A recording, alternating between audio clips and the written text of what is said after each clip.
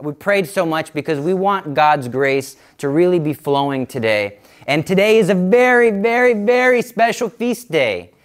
We're going to be speaking about Mary. We are at Mary's church, and today is one of the feast days of Mary, Our Lady of Fatima. And not only is it her feast day, but it's the 100 year anniversary to the day of her first apparition at Fatima that happened in 1917.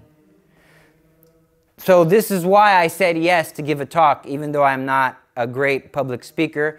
I care and I'm convinced and I believe in this. And so I said yes. And not only that, but I brought you a lot of things. So, at least if this talk is terrible, you will have a whole bunch of stuff that you did not have when you first came here. So, what briefly, what is Fatima? I have never personally heard anybody talk about it in a way that made my heart stir. When I learned about Fatima, I learned about it from reading this little booklet.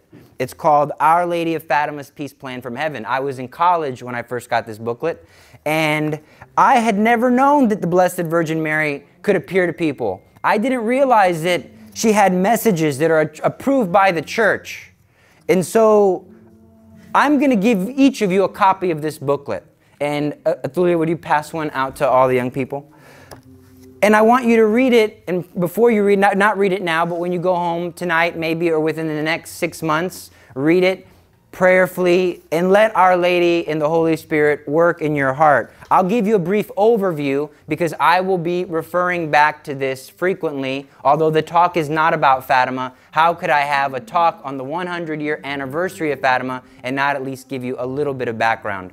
So, the Blessed Virgin Mary in 1917 on this day, May 13th, appeared to three children, Francisco, Jacinta, and Lucia, and she had she appeared over the, the course of six months. That's why I said over the next six months, read this little pamphlet because it's not just about today. It's kind of like a feast that extends for six months.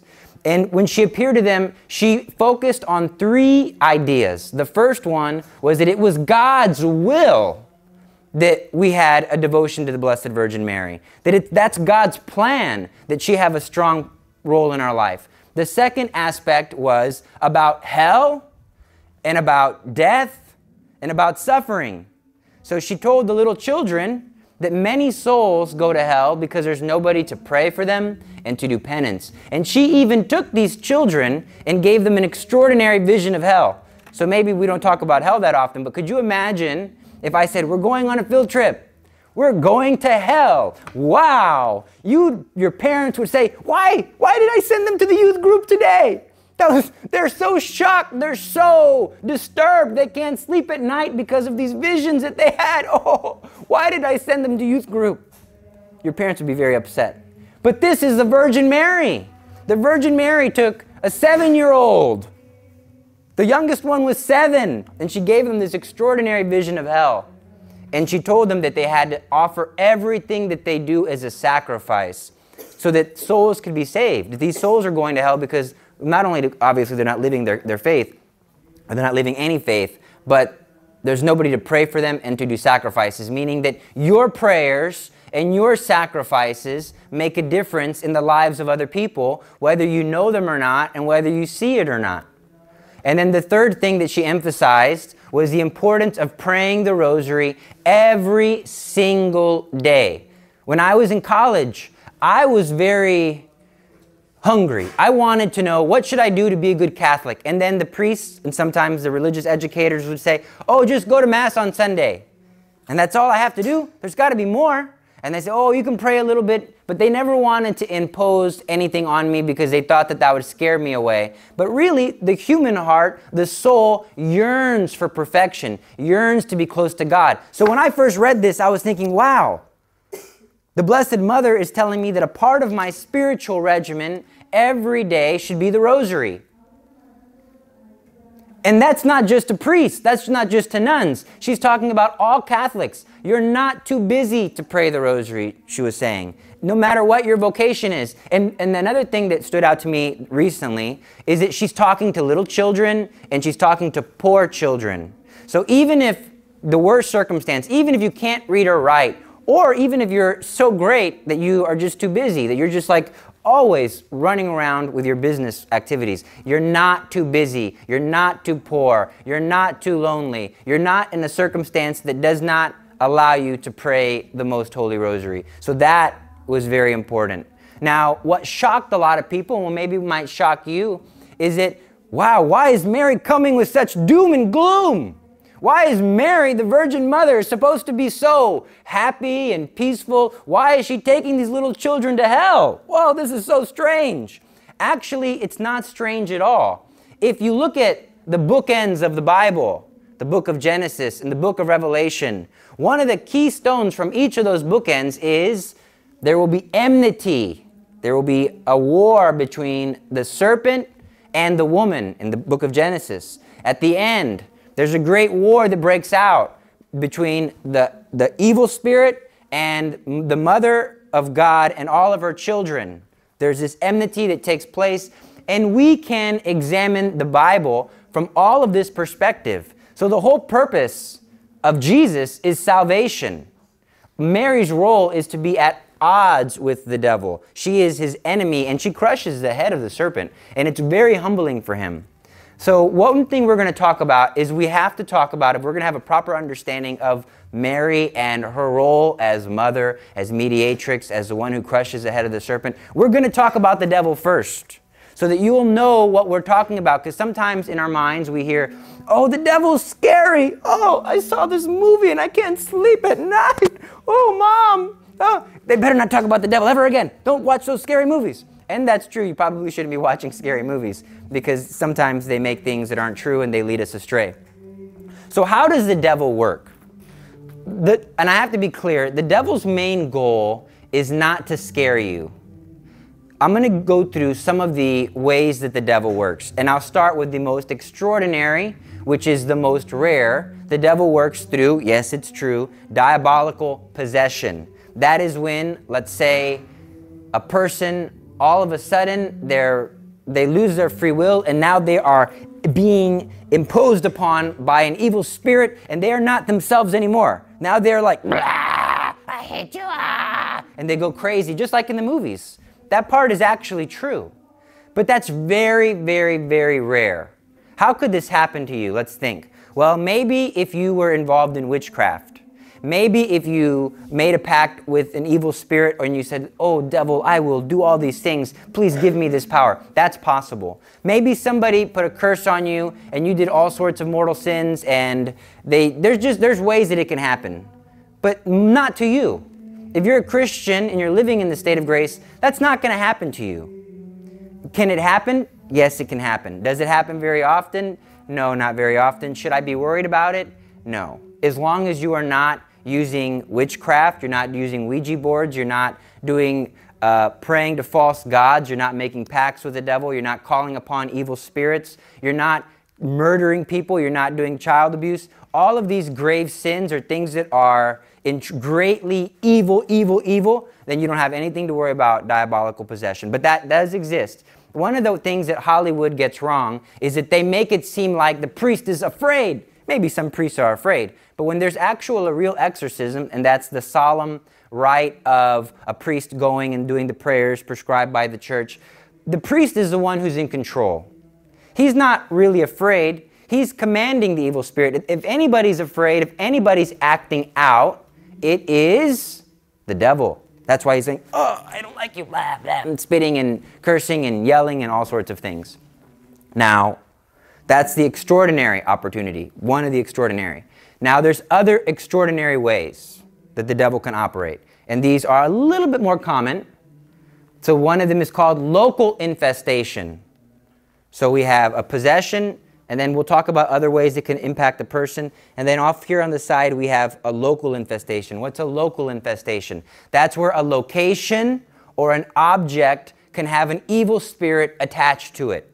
Maybe you've seen or heard stories of somebody who bought a house, and the house is kind of creepy.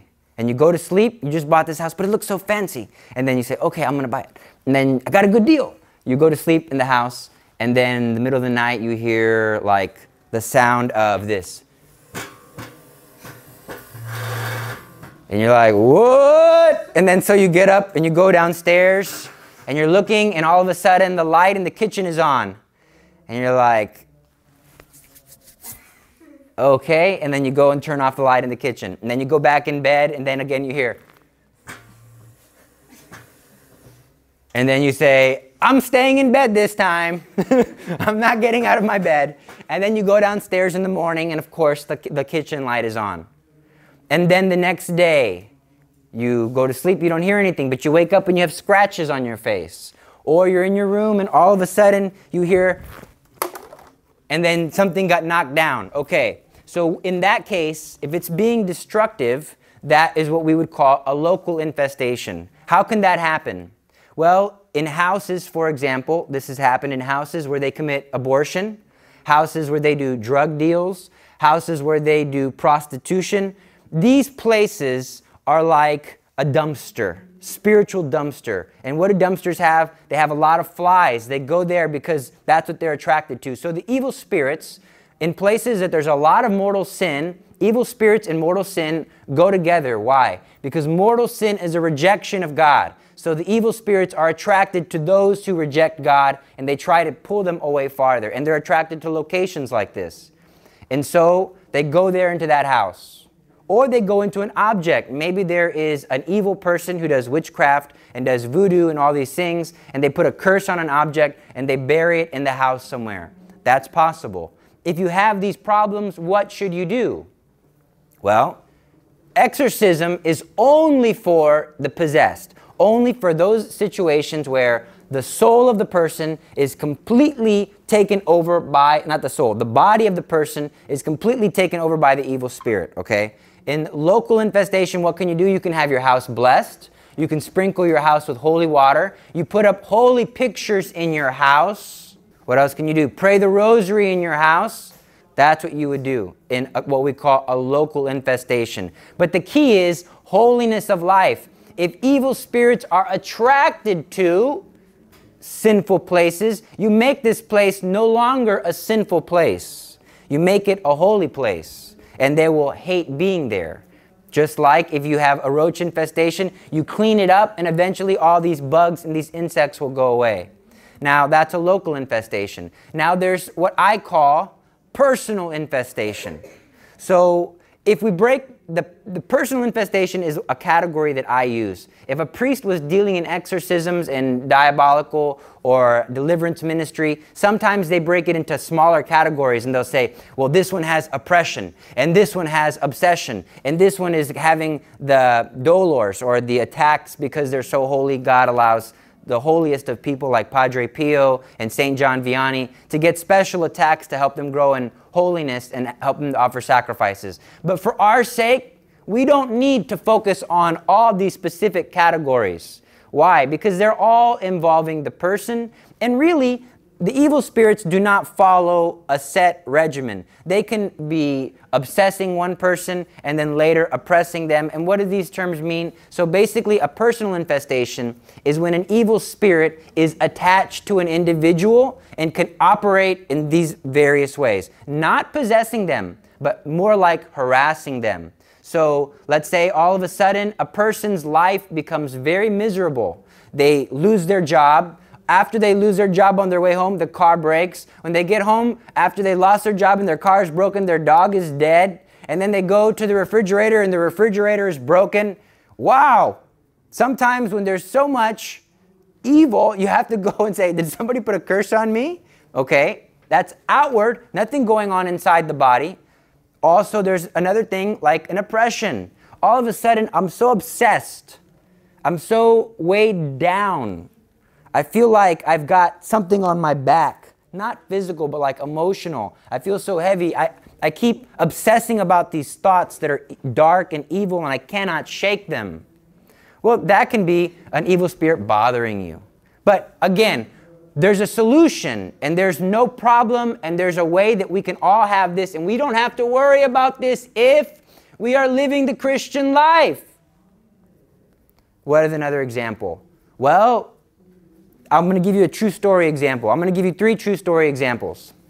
The first one I heard about recently, where a woman came to me and said, My niece isn't Christian, isn't Catholic, and she has an imaginary friend. And I took my niece to the church one time, and after she went into the church, she didn't like being in the church. And I took her home, and she said that her imaginary friend was very angry. And she was, okay, so automatically, imaginary friend, this is way maybe children, evil spirit, they can be talking to their imaginary friend, and the evil spirit has an opportunity. Hi, I'm your imaginary friend. Remember me? We talk all the time, right? And the, don't ever go back in that church again. This is imaginary friend saying, okay, if the imaginary friend told you never to go into the church again, I would think your imaginary friend is evil. And then when she went to sleep, the imaginary friend knocked everything off of the, the bed counter. And the imaginary friend scratched her and all these issues. So, what is this? I told her, okay, they're, they're, are they Christian? No. What about the, the mom situation? Well, the mom and the dad were having a divorce.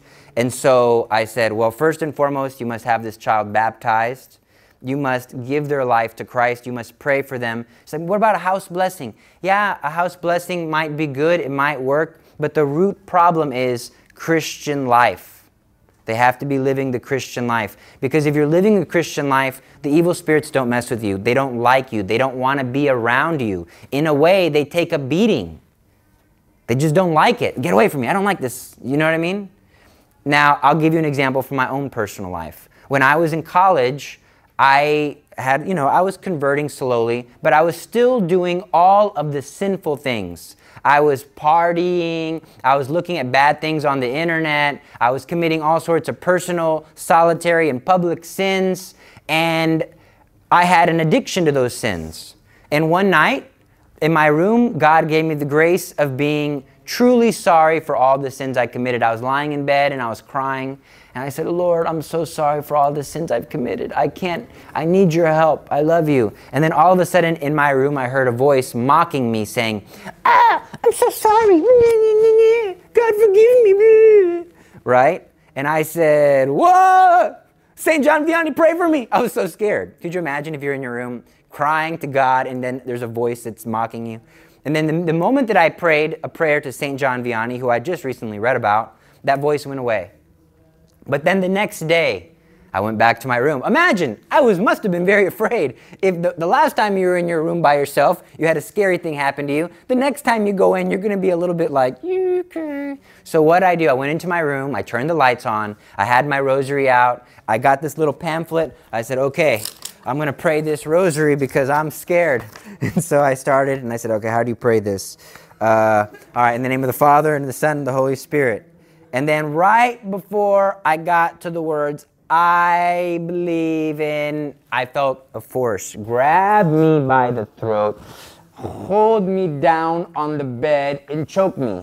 I, it wasn't that I, it was choking me and I couldn't breathe. It was just a force that was kind of like holding me down and I couldn't speak. My mom was in the other room. I couldn't yell for help. and uh, uh, so in my mind, I was thinking, oh my gosh, what do I do? Instantaneously, the thought in my mind said, pray the Hail Mary. But again, I couldn't say any words. So in my mind, I said, Hail Mary. I said those words in my mind. But then outwardly, I tried to get it. I said, Hail Mary. And the moment that I said that, the force got off of me, and it was like, God, uh, I believe in God, the Father Almighty, the creator of heaven and earth, and in Jesus Christ, his only Son, our Lord.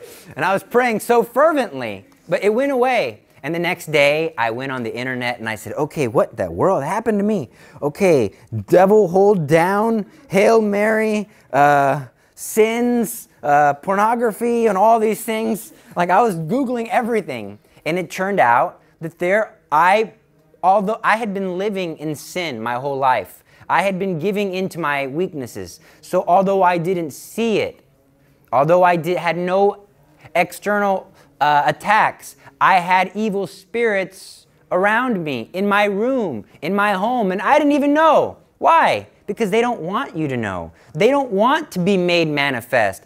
when they do scratches, that so why okay, let me let me take a step back. Why would God allow this? For your good and for my good. They want to remain hidden. Why? Because if they're hidden, they can continue to influence you and peer pressure you and say, oh, yeah, yeah, yeah, go look at that. Nobody's around. You're all by yourself. You can go look at this on the computer.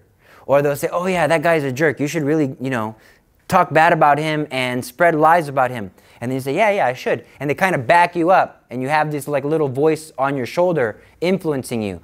But when they act out like that, it's because God is trying to help us. So he, they, he allows them to do stupid things like acting out, like holding me down. For me, that was one of the greatest blessings because then I read and I learned wow, if I have things like New Age books, uh, Buddha statues, false God statues, all of these things are entry points that the devil can use to get into your life, little hooks that he can use to hold you back.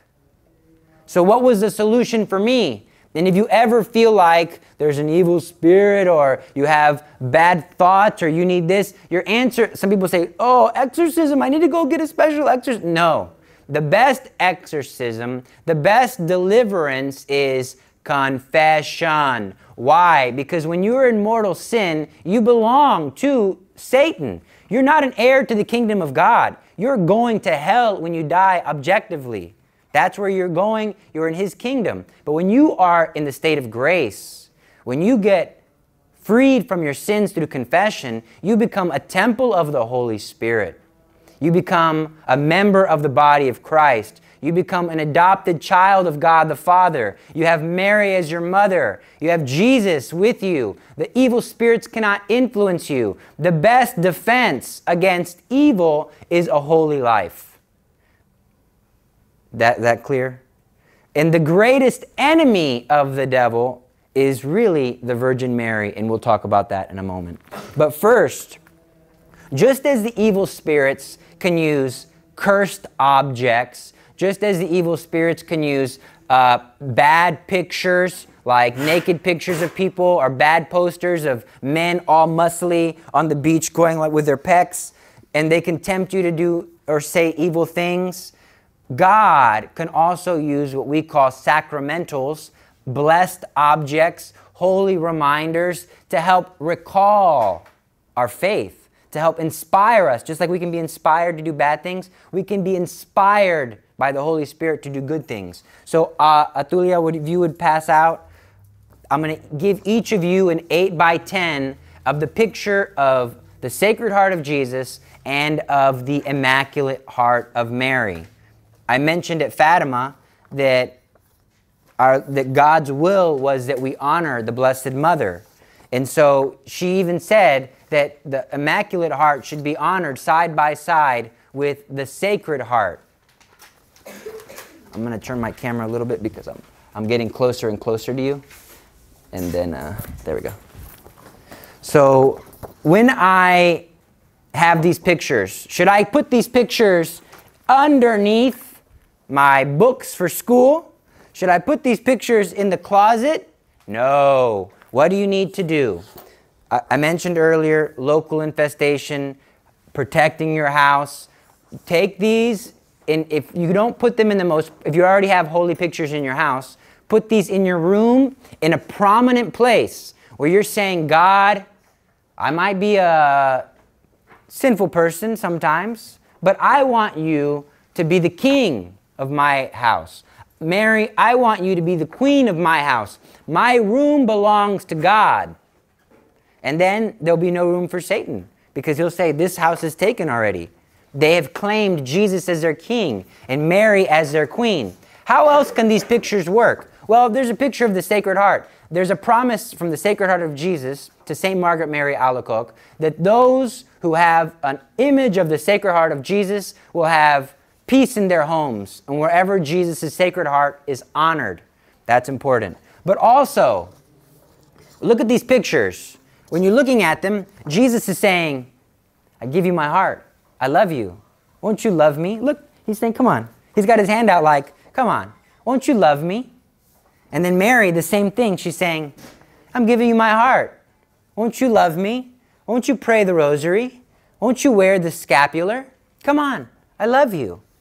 And so, what, why would this benefit us so much? Because sometimes I want to do bad things. We all want to do bad things. We all have concupiscence. We all have a natural inclination to sin. And so, you can walk by this picture a hundred times, but one day you're on your way to do something bad or you have a bad idea in your head and you're walking by and you're like, Yeah, I'm going to tell that fool off. And then you walk by, and for some reason, this image is like looking at you, and you're like, why Jesus looking at me? And then you walk by, and you, you kind of see in his eyes, and he's saying, don't do that. And you're like, I want to. Don't do that. I love you. Can't you love? Can't you just love him? Why do you have to be so angry all the time? Jesus, stop that. And, and it's like he's talking to you because God is using the holy image to speak to you. Similarly, when there are bad images, maybe on the computer, and you say, I shouldn't look at that, I shouldn't look up there, but then you kind of feel like you got to look at it and you can't help yourself. Similarly, God, using holy images and holy objects, will say, Come on, look at me. I don't want to look at you, Jesus. Look at me and do what I tell you. Fine, I'll do it. I'm sorry, Mom. I didn't mean to yell at you earlier. Are you happy, Jesus? Yes, I'm happy. Was that so hard? No. Okay. And you're having this conversation. You say, man, I'm going crazy. But you're not going crazy. The reality is, is that God is using you. The Holy Spirit is working in your life. Now, earlier, so this is the first of the sacramentals that I'm giving you. Earlier, I said that the Virgin Mary and Satan have enmity. He hates the Satan hates the Virgin Mary more than any other creature on earth. Why? Because she crushed his head. It was through Mary that Jesus entered the world. So the devil is always going to attack the Virgin Mary whenever he's attacking the Catholic faith. When people want to attack the Catholic faith, they break statues of Mary. When our Protestant brothers and sisters, they, when they accuse us, they say, You Catholics worship Mary. You Catholics worship her statues. Where in the Bible does it say to do this? And they keep attacking that and attacking that and attacking that. And you say, Man, and it doesn't really make any sense. Honoring somebody's mother should come naturally. If we love Jesus, it's very natural that we're thankful for his mother and that we honor her. That's very normal. So, why would the Protestants be against the Virgin Mary? That doesn't make any sense unless the devil, the evil spirits, are the ones who are encouraging this negative behavior towards the Virgin Mary because she is so powerful. So, I'm going to go through scripture. This is going to be the most boring part of the talk, I'm warning you. But you have to suffer through it. Why? Because, and I might be yelling at you. So why is he yelling so much? Because there is a little voice here on your shoulder that will say, don't pray the rosary. Or, yeah, that's true. Mary isn't in the Bible. Or, yeah, uh, don't wear the scapular. That's kind of a goofy thing and it's kind of itchy. So I might be yelling at you, but it's because I'm yelling at the, the, the arguments that might come into your mind later. So Mary in Scripture. The problem is, is that Protestants don't know how to read the Bible. In all honesty, I love them. My wife's family's Baptist. I love them. But in all honesty, they don't know how to read the Bible. Why? Because the Bible must be read in two parts. You have the Old Testament and the New Testament together. They must be read in line with one another. They must be read with the history and the tradition of the Catholic Church who compiled the Bible. So they say, Where's that in the Bible? Well, first and foremost, have, we have an issue. Why is the Bible so important to you? Where did the Bible come from? Did it come out of the sky? Did it write itself? Did Jesus write the Bible? No, the Catholic Church compiled and preserved the, the Bible. But it is actually in there everything that the church teaches can be supported from Scripture. And I'll give you an example of why it's important to know that in Scripture you have to take everything in context. So, for example, in the, in the book of Genesis, we, we see, we all know the story. There was seven days, and there was light and darkness, and God created the heavens and the earth, and the waters, and yada yada. Okay, we know this. Also, in the Gospel of John, he would say, in the beginning, so the book of Genesis starts off in the beginning, the Gospel of John starts off in the beginning. The people who are hearing the Bible for the first time, they don't have a written book that they're reading. They're hearing it and they remember it. Just like if I were to sing Hakuna Matata, or I would sing a song from a movie, Frozen. Everybody, I would just have to say one line, and you would automatically remember what movie I'm talking about, right? Hakuna Matata, Lion King. All right, a whole new world. Okay, Aladdin. We all know this. Similarly, the old people in the older days, in the first century, second century, first time they're hearing Christianity, whenever somebody would say, and in the beginning, they would say, oh, he's talking about the book of Genesis. And so that's called the mind in the Gospel of John. You'll notice then John says, and then the light and the darkness. Oh, yeah, that's just like in the book of Genesis. And then the Holy Spirit was over the waters. Oh, yeah, just like in the book of Genesis. And then he would say, and then there the Lord was, and on the next day, okay, that's in the book of Genesis, and the next day, and then the next day Jesus did this, and on the next day Jesus was over here. Similarly, in the book of Genesis, it was saying, and then on the next day God created this, and on the next day God created that. So automatically, the original hearers of this gospel are calling to mind everything in the book of Genesis. And then in the gospel of John, it says, and then on the third day, he had already mentioned four days. So four plus three is seven. Oh, that's like the book of Genesis. There's seven days. What happens in the book of Genesis on the seventh day? God rests. In the gospel of John, what happens on the seventh day? There's a wedding feast, a banquet, a union, a celebration. What happens at the wedding feast of Cana? Jesus multiplies wine, multiplies water, turns water into wine. In the, in the book of Genesis, what happens? Eve tempts Adam, right? She says, You want this fruit. So Eve gets Adam to do the first sin. In the Gospel of John, Mary gets Jesus to do his first miracle. Eve believed an evil angel and brought death into the world. Mary believes the angel Gabriel and brings life and grace and holiness into the world. So are we there's a parallel Adam and Eve, Jesus and Mary. But we have to be able to understand that the scriptures have to be seen together. There's other parallels, like the Ark of the Covenant and the Virgin Mary. The Ark of the Covenant was a sacred vessel that was made of the purest gold to specific qualities and instructions. The Virgin Mary was pure and sinless. What did the Ark of the Covenant have in it? It had the rod of Aaron the high priest, it had the bread that came down from heaven. What did Mary have in it? She had the bread of eternal life. She had the high priest Jesus. The other one had the Word of God in stone in the Ten Commandments. Mary has the Word of God in flesh inside of her womb. So we can see all of these parallels. I'm not going to go into them because you're, you're not going to remember them. But just know that they exist and that they are present. Also, we have in the Annunciation, the angel Gabriel says to the Virgin Mary, Hail, full of grace. When somebody's full of grace, that means maximum grace. That means they have no sin. So even before the Holy Spirit comes upon the Virgin Mary, the angel, a messenger from God, is addressing the Virgin Mary as being full of grace. So there's so many scriptural references, but I'm going to only do one more for you. So at the wedding feast of Cana, people will say, Why do you pray to Mary? Why do you ask Mary to help you? I don't know. That's not in the Bible. Okay, if you say so. If you say so, okay, whatever you say. You're right, I'm wrong, I don't know anything. Okay, no. Why do we do it? It's in the Bible. First of all, Jesus is a king from the line of King David. That's why they keep saying Jesus, son of David, Jesus, son of David. In the line of King David, King David had so many wives. Who's the queen? Which one? Which one of my many wives will be the queen? If I pick one as my favorite, all the other wives are going to hate me. So what who's the queen? The mother. So if Jesus is a king from the same line, that means the queen, he's got no woman in his life. The mother is the only woman in his life. The mother is the queen. The role of the queen from the line of King David was to intercede for the people. The role of Mary is to intercede for the people. Why is that in the Bible? Ah! Okay.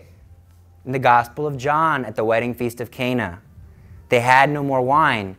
Mary is there in Scripture going to Jesus and saying, They have no more wine. Jesus says, Woman, what business is this of mine? Our Protestant friends and even ourselves will say, Man, he sure is being rude to Mary. No, she's the new Eve. Adam called Eve woman. Jesus, the new Adam, is calling Mary the new Eve woman. And then Jesus says, What business is this of mine? My hour has not yet come. AKA, it's not my plan. It's not God's plan. If, if I prayed to God for something and He said, No, it's not my plan, I would just drop it and say, Okay, Mary didn't just drop it. She said to the waiters, Do whatever he tells you.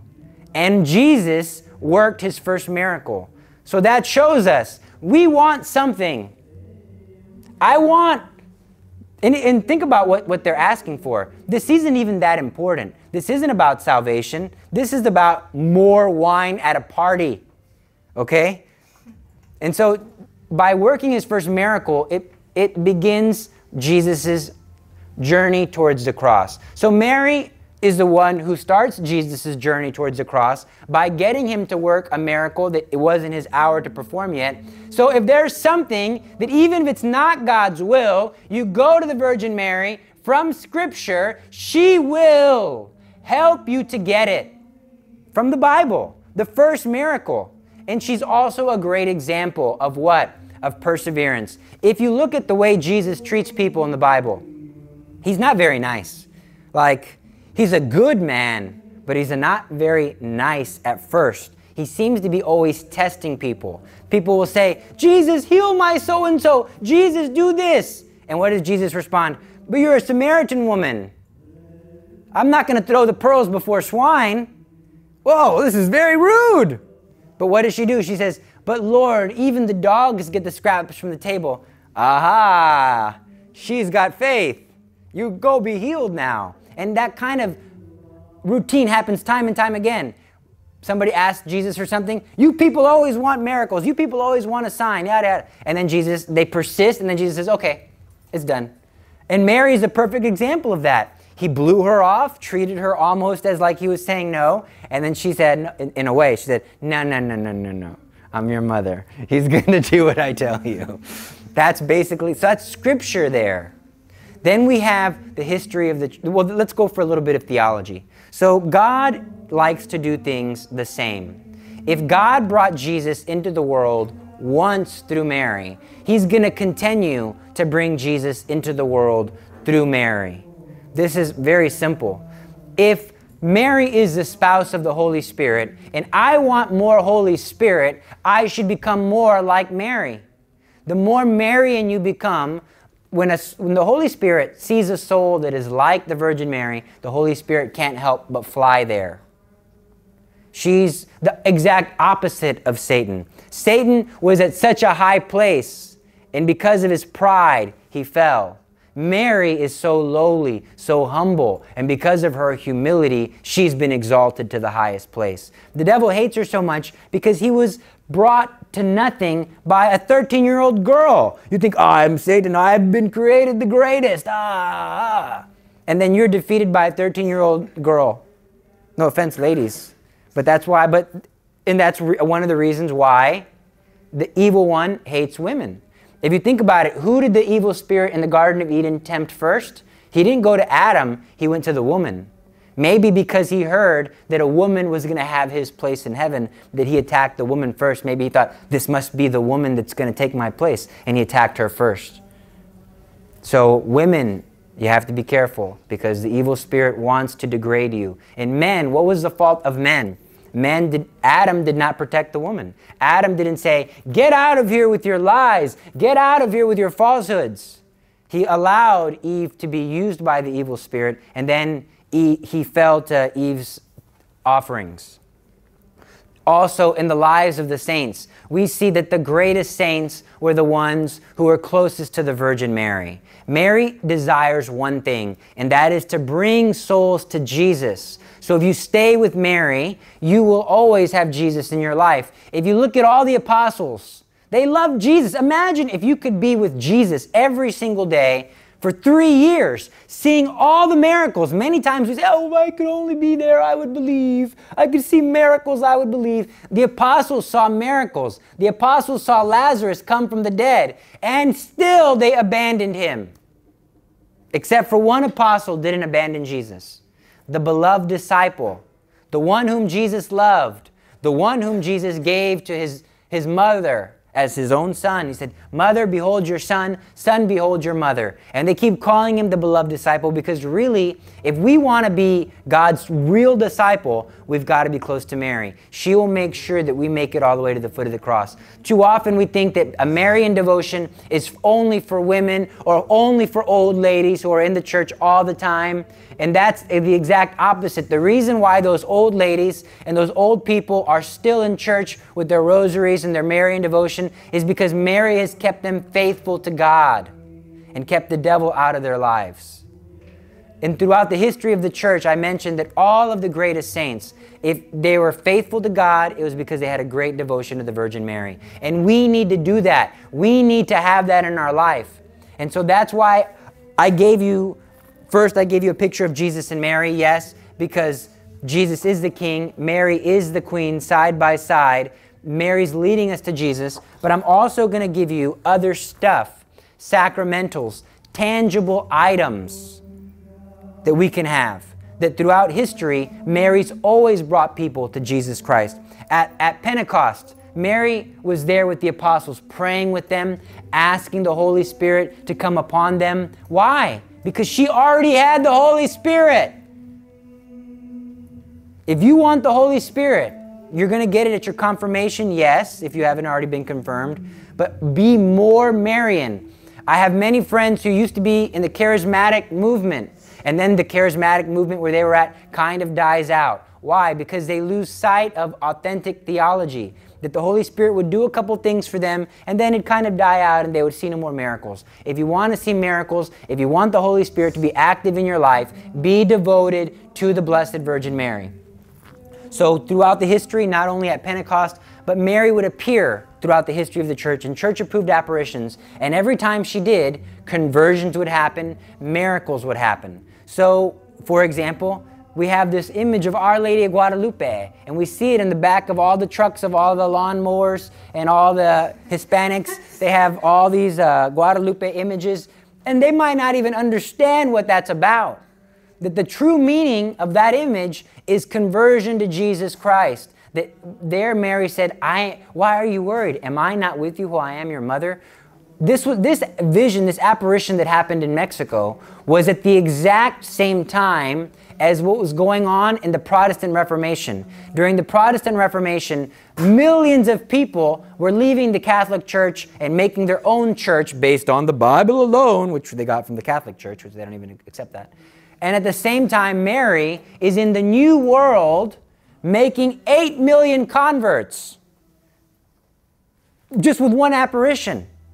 And Mary, whenever she appears, she always uses signs, wonders, and she always leaves something tangible. So let's start talking a little bit about these tangible objects. So the first thing that I'm going to give you is a brown scapular. If you'll make sure that everybody gets one. Thank you. So we've all heard a lot of good homilies in our life. We've all heard good talks that were very inspiring. What I'm going to show you and share with you now is more important than if you ever heard 50 good talks in a row. This will do more for your life and more for your soul than hearing the best speakers, the most inspiring speakers. Why? Because the Virgin Mary, like, so I, I work in evangelization. Guess who's a better evangelizer than me? The Virgin Mary. She's smart. She always wins. She crushes the head of the serpent. And so her tools for evangelization and bringing souls to Jesus Christ are the absolute best. And I'm going to give you these sacramentals in order of greatest, best. No, actually, I'm wrong. So that went off to remind me. I'm going to give you these sacramentals in order of easiest to hardest. What do I mean, easiest to hardest? I'm going to give you the most basic Marian sacramental first the easiest to do, and then I will go to the hardest. The first one, the most easy thing to do, is the brown scapular. The Blessed Virgin Mary appeared to a man named Simon. We now call him Saint Simon Stock. And she said to him, Receive this garment. Before, it was bigger, it was like a full thing that goes over the body. Receive this garment. Anybody who wears this shall not suffer eternal fire.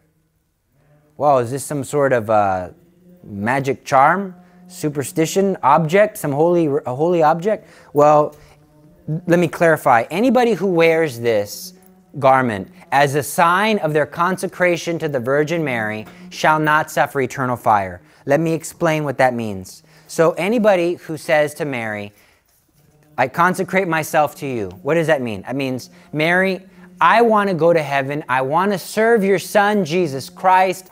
I want to be in heaven with him for all of eternity. Please help me to do that. I give myself to you as your child for you to help me grow in holiness. Who's the first person to do that? Jesus. Jesus was the first person to give himself to Mary and say, Mary, be my mother, watch over me, protect me, take care of me, guide me, and provide for me. That's what you're saying. So she's saying, if you wear this as a sign that Mary's your mother and that she's going to help you get to heaven, that she promises you won't suffer eternal fire. How, well, answer your questions at the end. How would this work? She would do this as an advocate.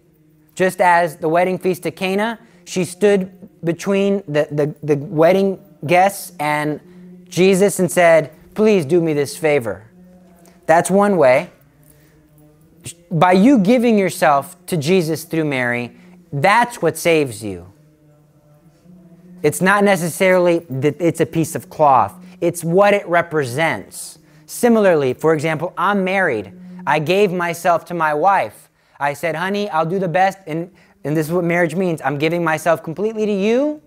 You give yourself completely to me. My, my goal is to try and get you to heaven. Your goal is to try to get me to heaven, to raise children, to get them to heaven. That happened at marriage. This ring is not my marriage. This ring is a sign of my marriage. I wear it as a sign of that. Similarly, I wear this as a sign of the promise that I've given myself to Mary. How else can this work? Let's say, for example, Mary's intercessory powers can obtain your conversion. I'll give you a scenario. Let's pretend that your uncle, Johnny, is in the hospital, and Johnny doesn't go to church, and Johnny hates priests because they're so hypocritical. But really, Johnny has sins that he's done, and he's, they're bothering him inside, and he doesn't want to confess them to the priest because he's embarrassed, and he's got so much anger inside of him. And so you say, Johnny, Please go to the priest, you're dying. He says, I hate priests. He said, Please, uncle, will you at least wear the brown scapular? Please. And you're crying. Fine, give it to me. And he puts it on. And then the next day you come back to see him at the hospital and the door's closed. And they say, Oh, sorry, sir, you can't go in there. Why? What's wrong with Johnny? Oh, he's going to confession. What? So some, well, the priest came by, he said, Is everything okay? And then Johnny started crying. Well, so Our Lady is keeping her promise. Nobody who wears the scapular shall suffer eternal fire. It doesn't always mean that she's going to stand at the gates of hell and say, My son, don't let him go in. That means that she can obtain the grace of conversion. That the smallest act of faith, by putting it on, it's a symbol of faith. So Uncle Johnny rejected God in every way. But this minor sliver could have saved him from fires of hell for all of eternity. That's another way. Uh, what's another way that the scapular could work? You could be in the car and you're driving. Next thing you know, you get into a car accident, you're pinned down, you're unconscious, and then a priest drives by and he sees it and he goes and looks and he sees the scapular out. And he says, This person's a Catholic. And oh, they still got a pulse. Lord, if you can hear me, give your sins to Jesus. I absolve you of your sins in the name of the Father and the Son and the Holy Spirit. And you were kept alive long enough, one, to hear, have your confession, your conditional confession, your conditional absolution. You were alive long enough, and the priest saw the scapular to show that you're a Catholic. That's one way that it can work. Another way, it's okay. Another way that the devil doesn't, because we're about to get to the very important part that the devil doesn't like. Oh, and you know what I forgot to do? This is what I forgot to do before my talk. Sorry. Oh, sorry. Everybody in TV land, sorry. oh, I forgot to do this one thing. Lord, forgive me. That's why we have some interference. So, what's another way that it can work? Well, one way that it worked in my life, because I was a sinner. Remember, I told you the devil was on my shoulders. He was like, I was on his team. But then he knew that he was losing me. When I pulled out that rosary, he got desperate because he knew I was going to Mary. Well, what was the really the turning point? I can attribute it to the brown scapular. Many I put this on and I had no idea really what it meant. I was wearing it as insurance. And there'd be times where I was about to do something sinful and I'd be scratching and I say, what's what's all this scratching? And then I'd say, what? what? And then, I'd, oh, it's my scapular. And then I'd say, oh, I probably shouldn't be doing this. Or I'd be about to curse at somebody or do some other maybe pleasurable sin that is very tempting. And then my scapular would come out. And I'd say, uh, oh. And it's a picture of the Virgin Mary. So imagine you're about to do some sinful pleasure. And then all of a sudden, there's a somehow out of your shirt comes a picture of the Virgin Mary with the baby Jesus. You say, maybe I should stop. okay? That's another way that it can work. But what I, I want for you is I want you to wear this every single day of your life and not take it off, except for in the mornings. So I wear mine all the time. I do take it off to take a shower, and then I put it back on and I kiss it as a sign that I, I, want, I want Mary to help me. You have to keep a promise, the promise being that you're going to try. You're going to fail. Everybody fails. We're all going to sin. But I'm trying. And I'm wearing this as a sign that Mary, work with me, help me. As long as you're doing that, I promise you, the Virgin Mary will always be with you, will always protect you. This is a sign that you're her property and that the devil has no part in your life. So even if you failed, you're dying, you're in the street, you haven't lived a good life, but you're wearing your scapular, this is a sign saying, Mary, I'm a failure. Please help me. Now, I teach a variety of different people at the church I go to. And some people are really tough guys, and I have to yell at them. You guys are not all these tough guys. I'm still going to yell at you. Put on your scapular! Open it, put it on your shoulders, tuck the square underneath your shirt, and tuck the front square in the front underneath your clothes. Go ahead and do it. Tuck it in. Come on, you'll feel better when you do it. Tuck it in, tuck it in. I'm already wearing one. I'll wear another one just so that you'll feel better. Okay, look, I'm doing it too. Tuck it in. Why are we tucking it in? Because if it's outward, we're more tempted to take it off. Oh, it's caught on my microphone. We're more tempted to take it off. So I yell at the tough guys that don't want to do it, and I say, You're an idiot. And then they, I know then afterwards I regret calling people idiots. Because Jesus said, call no man fool, call no man raka, yada yada, you're going to burn in hell for doing this. Okay, I'm sorry, Lord, but that person is just so dumb for not wearing the scapular. Why? Because imagine they go outside and then they're hit by the car and the scapular's in their pocket. And then God says, hey man, what? I, but God, I got the scapular. Hey, you didn't put it on. Well, uh, I'm too cool. no, you fool. I gave you every opportunity. This guy kept yelling at you, put it on, put it on, put it on, put it on, put it on. And you did not do it. So you know what I do? They still don't listen. I give them a little meditation on hell. and I'm going to give you a little meditation on hell. So let's imagine what hell might be like. Let's imagine the worst circumstance. So uh, nothing that I'm about to say can actually compare to what hell is really, really like. These are just our imaginings. The worst thing we can imagine, hell is infinitely worse. So, uh, the worst thing that I can imagine is having my skin peeled off of my body, my eyes plucked out, my hair plucked out, my ears drowning, being crunched in a little box, freezing, not being able to breathe. Okay, you get the point. Seeing the worst sight that I'd want to scratch my eyes out of my sockets just not to hear them. Hearing the worst sound that I'd want to pull my ears off. Okay, it's but that's a little extreme. Let's just focus on fire, the sense of touch, okay? I could stand, if I had to, I would be willing to be burned for a second, if I had to, if that meant somebody was going to be helped. Like if my children were stuck in the house and I was going to try and save them, I would be willing to run through the fire. I'd be willing to burn for five minutes. I could stand to burn for maybe, you know, 10 minutes. Okay, uh, it's going to be terrible, but I'll do it, right? But could you imagine, and that's terrible, but the reason I could do it is because I know it's going to end. Imagine just we can't even stand a little match burning our finger for one second. Imagine our entire body being consumed by fire, not just for one week, not just for one month, not for one year, but forever. All these worst torments, they never, ever stop. ever. It never stops. 50 years, you're just going to be screaming and burning and rolling and tearing. It's absolutely the worst thing possible. And if we could see what hell was really like, that's what changed these little children. The little children, Jacinto and Francisco, Jacinta and Francisco, the youngest children who saw this vision of hell, they died when they were children and they were canonized saints today because they were absolutely transformed when they saw what hell was really like and, that, and how terrible it was and that people actually go there. They changed their life completely because they didn't want anybody to go. And one of the greatest torments is knowing that I didn't have to go.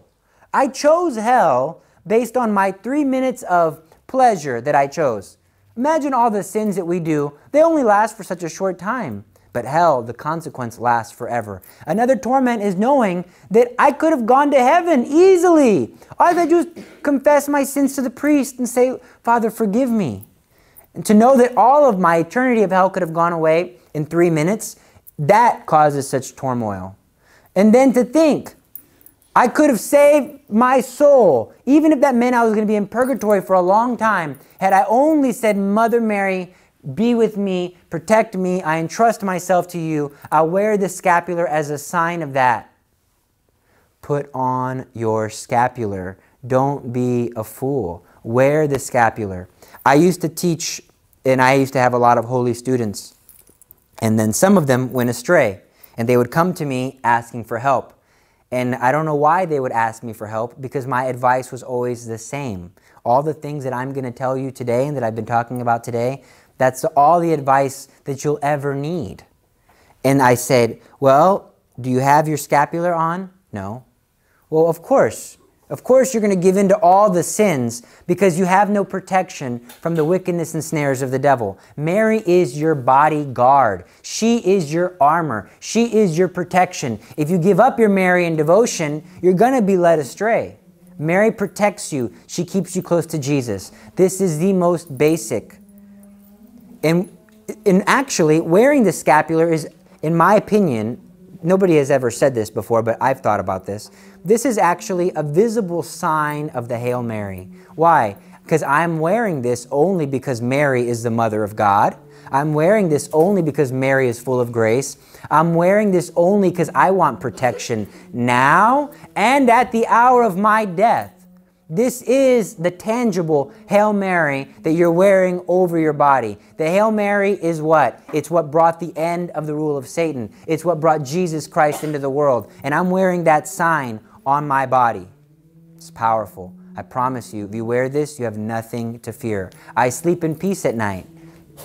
I sleep in peace at night for many reasons because I've got things all over me. I've got rosaries here. I've got holy objects in my pockets. Let's see what's in my pockets. The next thing we're going to talk about is a, a, miraculous medal. I wear a miraculous medal. I carry a giant miraculous medal on me at all times. I've got, uh, let's see what I got in here.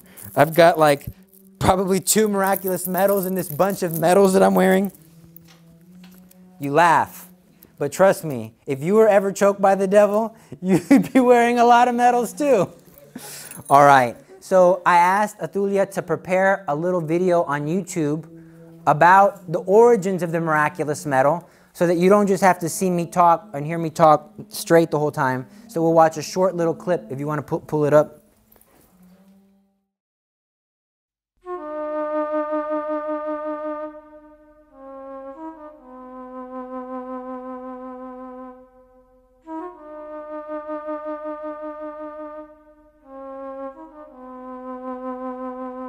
Wake up, the Blessed Virgin is waiting for you.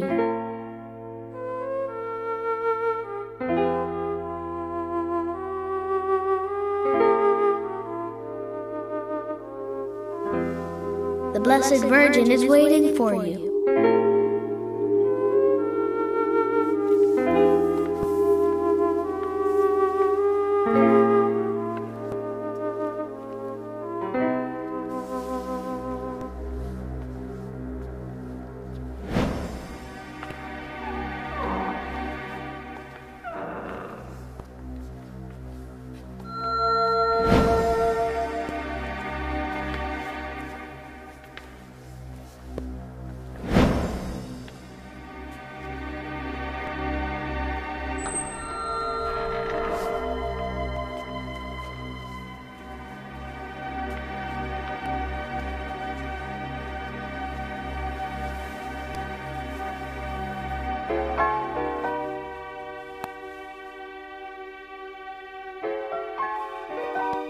This is the Blessed Virgin.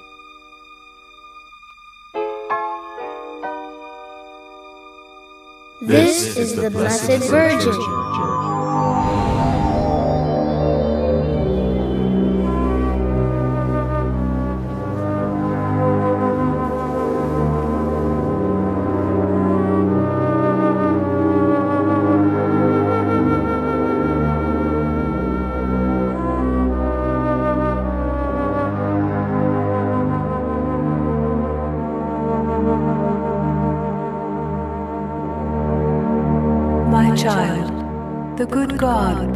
Charge you with a mission.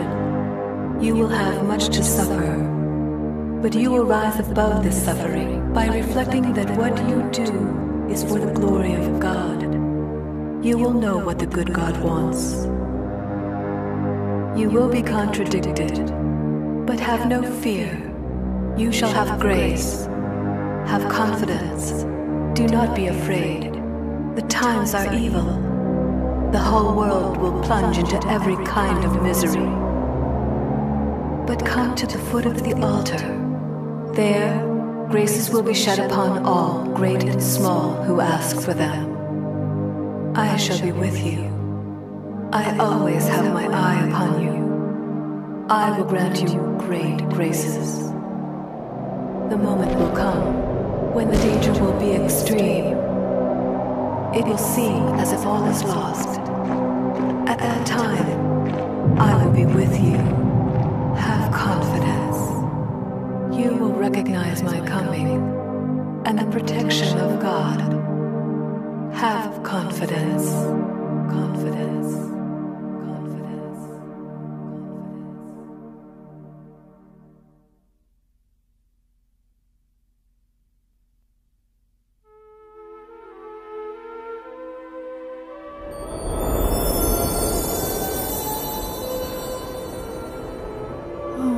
Holy mother. This ball that you see represents the whole world and each person in particular. These are symbols of the grace I shed upon those who ask for them.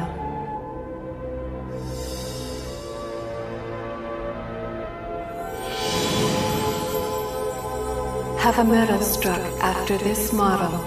All who wear it shall receive great graces. They should wear it around the neck. Graces abound for all who wear it with confidence. Confidence. Confidence.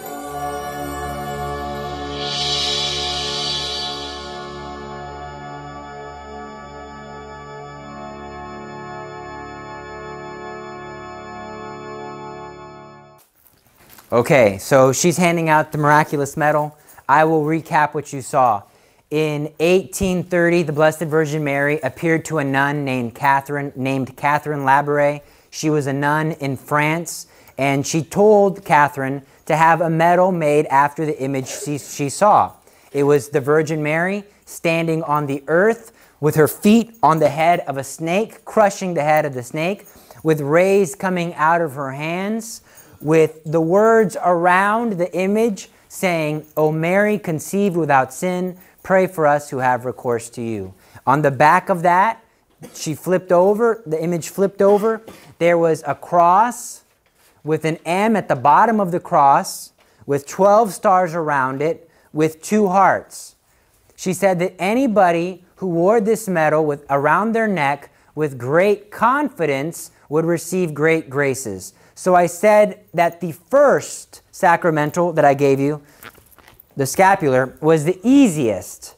This one is level two, a little harder. This was originally called the Medal of the Immaculate Conception, but because there were so many miracles, they started calling this the Miraculous Medal. So if you need miracles, if you want miracles, I need miracles. I want miracles. So I wear the miraculous medal. And then the key, she said, was those who wear it with great confidence, confide, with faith. Those who wear it with great confidence. That's the key. Why would there be miracles associated with this? So why did Jesus work miracles? Because he was merciful? Yes. But why else? To prove a point, to, to proclaim a truth. When the apostles would go out and preach and teach, in order to show that, hey, what I'm saying is true, in the name of Jesus, you in the back there, get up, you're healed. And then they say, whoa, what this guy is saying must be true because he just raised the guy from the ground. Okay, similarly, the, the medal has truths involved to it. What is the truth? The medal, Mary is stepping on the head of the serpent. That is one of the truths. Mary standing on top of the earth with her hands outstretched, with graces coming out. Because one of Mary's roles, besides advocate, which we talked about when she was interceding at the wedding feast at Cana, is that she's the mediatrix of all graces.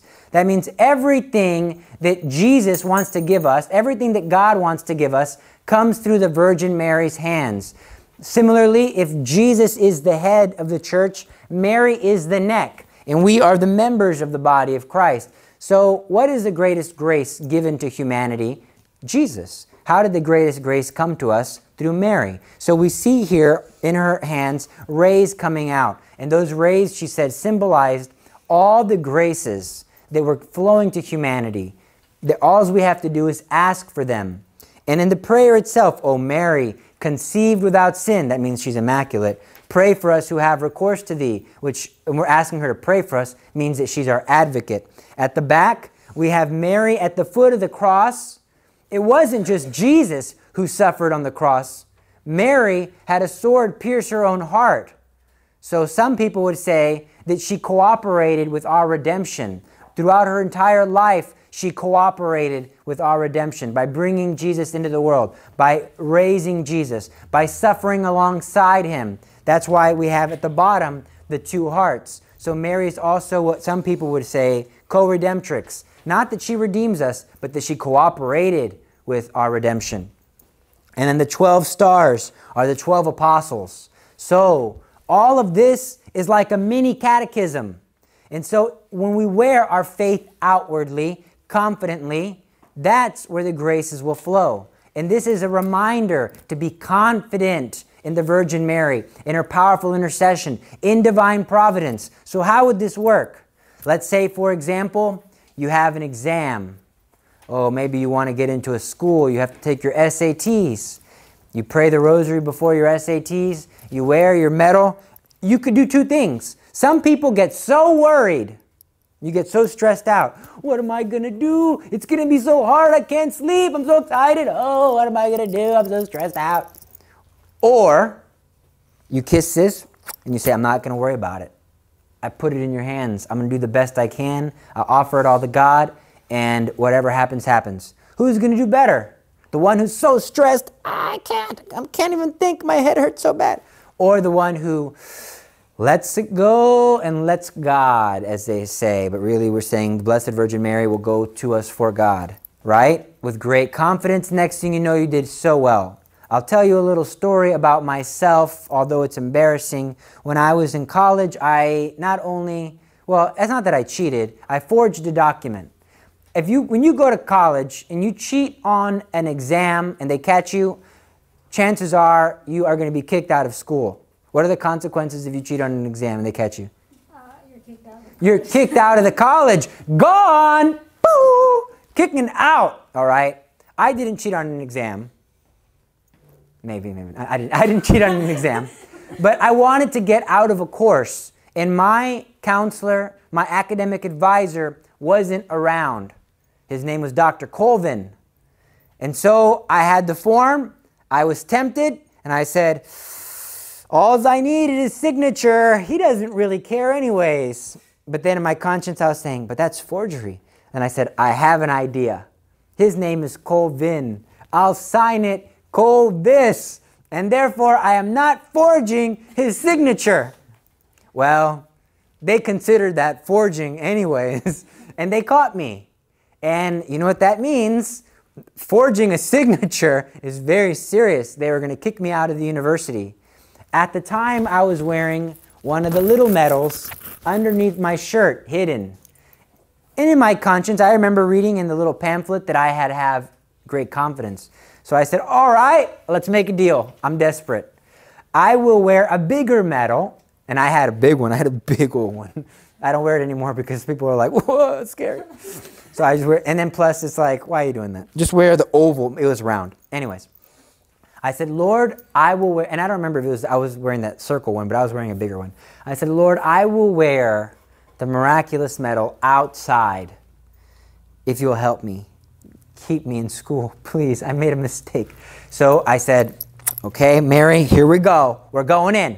And I went into the, the dean of the school, and he said, Mr. Castillo, please take a seat.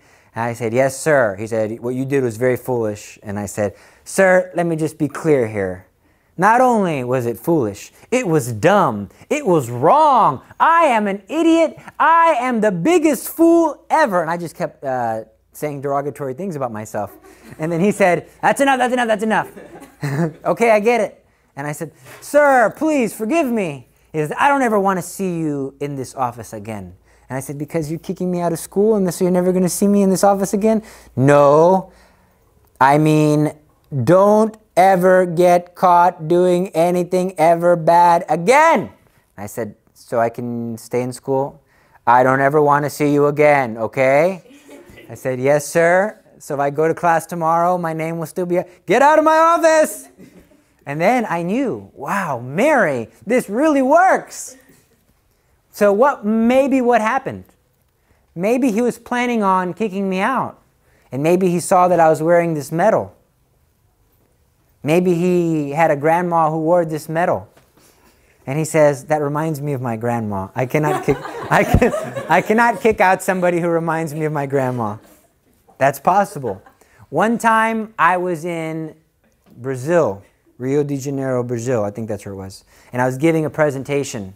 And I was working on the presentation all night long. Like, oh, I was stay, I pulled an all-nighter. Working on a presentation about Catholics in the media. It had all these cool effects in the slideshow, transition, start transition. And right when I finished, I said, Oh, thank you, Jesus. I hit save. And then I saw somebody's hand grab my cell phone. And then I was like, What? And I went like this. And there was a gun on my head.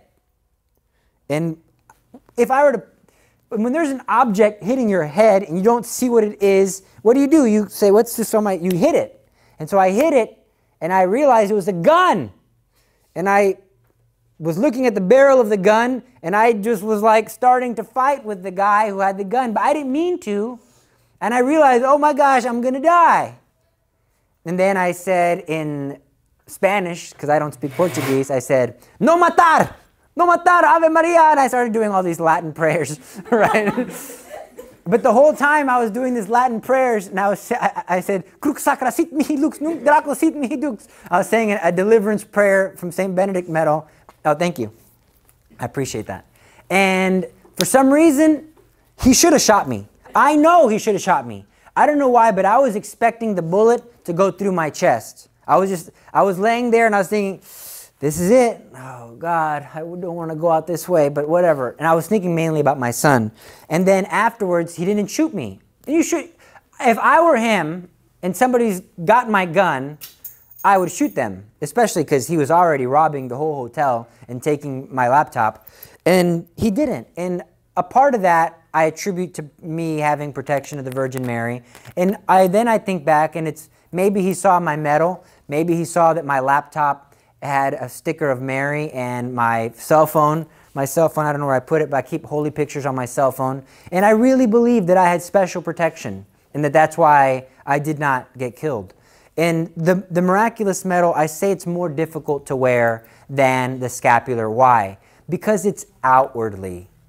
So the more difficult things become to do for an individual, the greater the blessing that the Virgin Mary gives to it. Why would she do that? Why would she want me to wear something outwardly?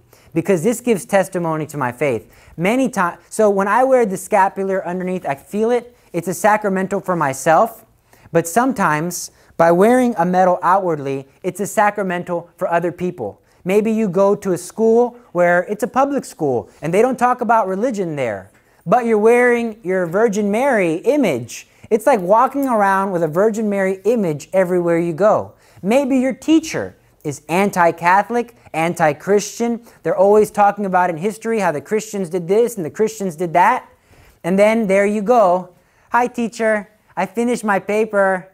Hi, teacher. I brought you a gift card. And then there you are. And all the teacher sees is the Virgin Mary being nice to her. That's powerful. That's a powerful witness. Maybe there's an individual who is considering suicide. Maybe they're saying, God, I've been abandoned. You don't love me. Oh, my life is terrible. I just want to exit this life. And they're maybe I'm going to go home tonight and take my own life. But then, they, and they drop their bags. They say, see, even my bags are dropped. I have the worst luck ever. And then you say, here, ma'am, here's your bags. And they look up at you and they see your medal and it's just glowing in their eyes. The sunlight hits it just right. And then it's like, oh! And they say, oh, it's a sign God does not want me to die. It's a Virgin Mary at my side. So many people in my life, you don't understand how many people. I go to HEB, they say, Oh, I love your medallion. What, who is that on your medallion? And I say, Oh, it's the Virgin Mary. I go to Macy's. They say, Sir, that is a beautiful piece of jewelry you're wearing. I go to get my hair cut, and they say, Sir, why are you wearing that such a holy, holy picture? Is that Mama Mary? And everybody's talking to me about it, and I don't even think about it. I forget that I'm wearing it, to be honest with you. It's really a sacramental to be seen by other people for their grace, for their conversion. Mary said, Wear this around the neck confidently, outwardly. So I encourage you to wear your miraculous medal. It's harder. Let's say you're a little bit embarrassed. Is it better for you to take it off in an embarrassing situation or to tuck it in? It's better for you to tuck it in. Similarly with the brown scapular. I like to compare this to my wedding ring. You might want to go somewhere where, you know, I'm going to take off the brown scapular because uh, I'm going to do something sinful. Let me take it off. Uh, bad idea. Similarly, would I take off my wedding ring because I'm embarrassed? I don't want people to know that I have a wife. I don't want people to know that I love the Virgin Mary. Would my wife be happy with me if I took off my wedding ring and was going around? No, I'd be in trouble. Similarly, not like the mother of God's going to punish you, but she's not going to be happy if you're taking off things because you're embarrassed of her. Okay.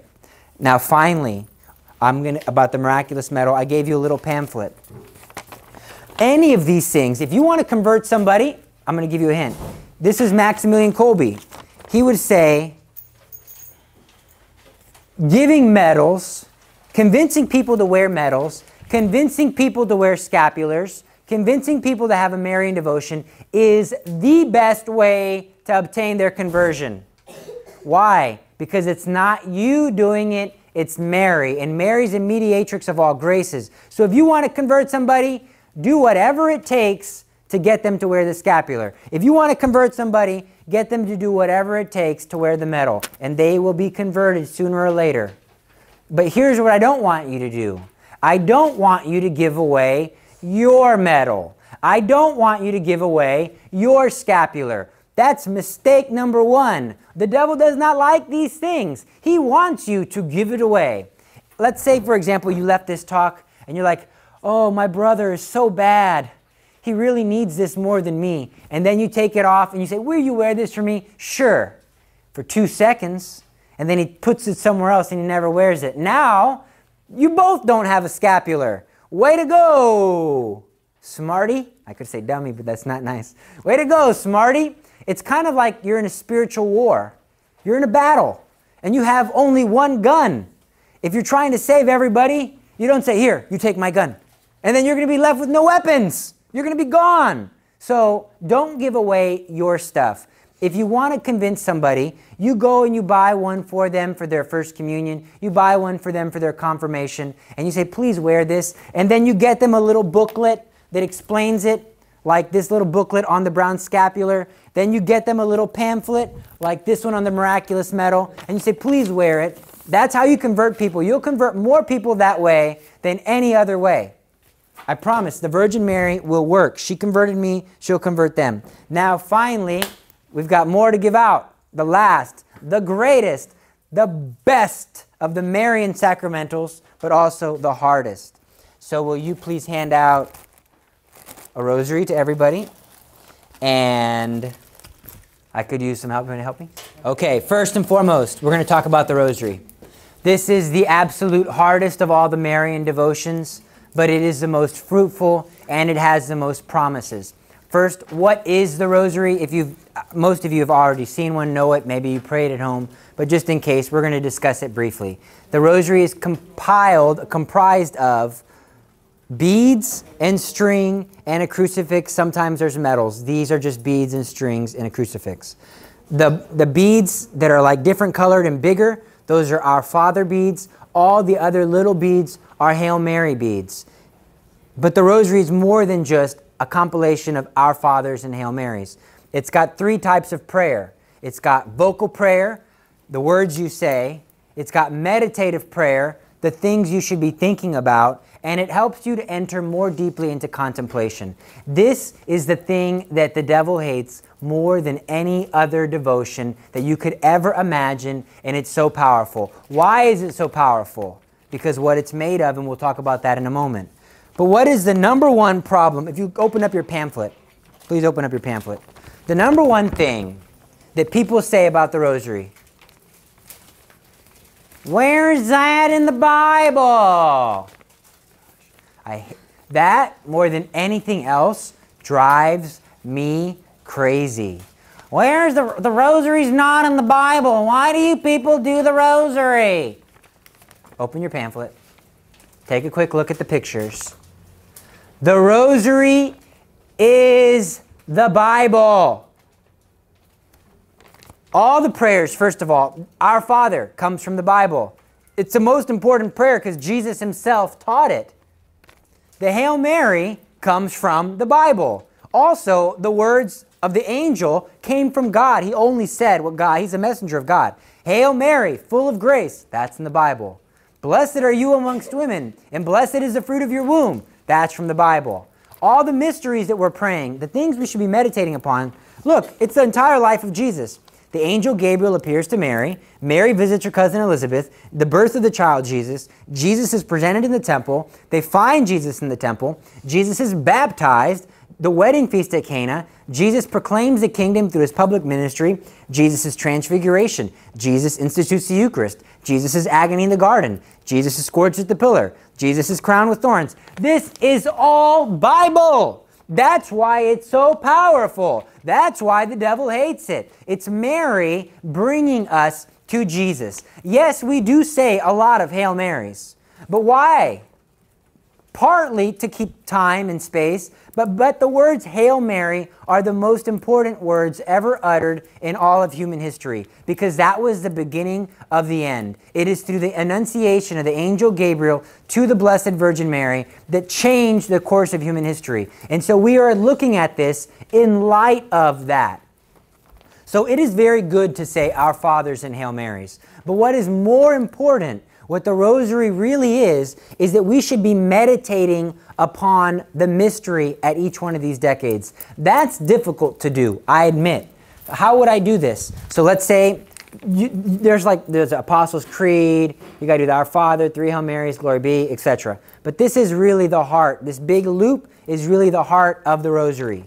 You go to the first mystery, you say, the first joyful mystery is the Annunciation. The angel Gabriel announces to the Virgin Mary. You picture it in your mind, you have some intention. Mary knows we are selfish. Everything that we do, we do because we want something. We do because we want to be happy. So if I'm going to pray the rosary, it's not because the rosary is fun, because it's not. Sorry. And I love the rosary and I pray it regularly, daily, many a day. But it's not because it's fun. It's because I want something. I want to be happy. And this brings me what I'm wanting. So I would, as an incentive, every decade that you pray, picture it in your mind first. Then think of something that you want. So on the way here, I prayed the Annunciation. I said, Lord, help me to announce to these young people the messages that you have for them. And then I prayed, Our Father who art in heaven, hallowed be thy name. And I'd go, Hail Mary, full of grace, the Lord is with thee. And every once in a while, I would remind myself, oh yeah, Annunciation, I should be imagining this. And then you do the next one. Okay, the, the, visitation. Mary visits her cousin Elizabeth. I cared a lot about helping you, so I said, Lord, help me when I visit these young people to speak and let the Holy Spirit stir inside of them like it stirred inside of St. Elizabeth. So, the same thing. What do you want? I want to get into a good college. Okay, Lord, announce to me that I'm going to get into a good college. Visit me with good grades. Have the Holy Spirit stir in me like it stirred in Elizabeth. Help me to hear your voice. Help me to hear the right answers to my test. You do this. I know that sounds like your motive isn't pure. But none of nothing that we do is out of pure motive. We go to church why? Because we want to be happy. Why? Because I want to go to heaven. Everything we do is because we want something else. That's natural. God uses, uh, takes us where we're at. I might be doing my prayers because I don't want my uncle to die, or I don't want my, my mom to be uh, left alone without a husband, or with, with, I don't want my dad to lose his job. I might be praying because of that. But God reaches me where I'm at. He uses that to purify my heart. That's what prayer does. Even when it's selfish, it's good for us. So, all of this is sacred scripture, and that's where the power comes. The Bible is the inspired Word of God. If I were to take the Bible and read the gospel real slow and repeat the words over and over again, my soul would start to be moved. We hear about this when prisoners go to jail and they say, Oh, I found Jesus in jail. I was reading the Bible. Oh, I was in a hotel room and I read the Bible and it was coming alive and I'm a Christian now. Wow. The same thing happens when you pray the rosary. It's hard work at first, it really is. But by meditating on the prayers, by repeating the words, the Hail Mary, eventually the Holy Spirit begins to stir up in you and you get good ideas. And then you'll think, oh, wow, oh, I never thought of that before. And then, even more importantly, you encounter God through it. It's tough. It really is. It, it might not be tough sometimes. Sometimes you might be like, I feel like God is with me. I feel like it's so powerful in my soul. But for me, most of the time, I have to force myself to do it. But after I'm done, I feel much better and I know I have God with me. And that no matter what happens, God is going to make everything that's happening in my life work for my good. This is the most important investment that you can make in your life. There's um, the book I gave you it says that convincing somebody to pray the rosary, it's on page 12 actually, I think. I don't remember the page to be honest. Convincing somebody to pray the rosary, you don't have to open it now. I'm going to talk about it specifically. But he says, St. Louis de Montfort says, convincing somebody to pray the rosary does more good for them than hearing all these wonderful sermons because it changes my habits. So we have a natural inclination on a daily basis to be selfish, to be lustful, to be angry, to be gluttonous, to be lazy. But by praying the rosary every day, we are committing ourselves to Jesus Christ. It's creating discipline within us, and it's making Mary is our mediatrix and is our intercessor. So all of the saints prayed the rosary. Everybody who wants to be close to Jesus, by praying the rosary with Mary, you have a special relationship that cannot be substituted. I know many people who are very holy and their main devotion is the rosary. Everything is contained in there because it's got the entire life of Jesus. It is hard, but you can do it, but you have to be tough. Do you want to be in sin the rest of your life? Do you want to have the addictions that you have? Do you want to be a slave to lust? Do you want to be a slave to doubt or to insecurities in your life? The rosary will help you to overcome every weakness. It will be able to be your guide and your light. Look at these this paper. You might have a blue one like this. I have the white one. I use the white one because it's easier for me to read. But take out that paper.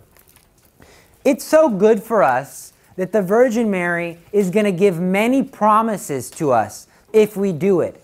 Why? It might seem like bribery, but she's smart. She's willing to give us things that we need to get us to commit to praying the rosary because it's so important for our souls. So, what are some of these promises? Number one, I live off the, these.